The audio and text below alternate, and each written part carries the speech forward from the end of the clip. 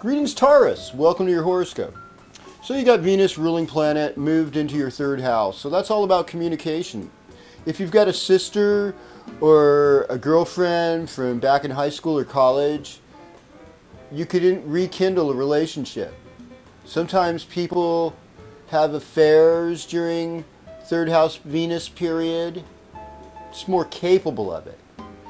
Um, it just felt good, and I figured as long as nobody knew, nobody'd get hurt, you know, I mean.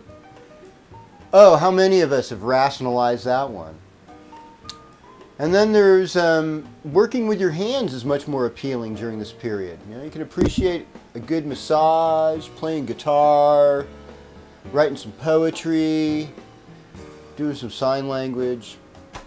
Um, I felt like saying picking your nose just because I thought maybe somebody would laugh out there, but I guess, you know, I, I don't hear the applause yet. Uh, Mars in the seventh house, it makes it a little more difficult in relationships because you want to manipulate, well, maybe not manipulate, but you want to direct. Gently glide your relationship in the direction you'd like to go. And there might be somebody who's not cool with your trip. Like sometimes the seventh house is open enemies. So, you know, there might be some Scorpio.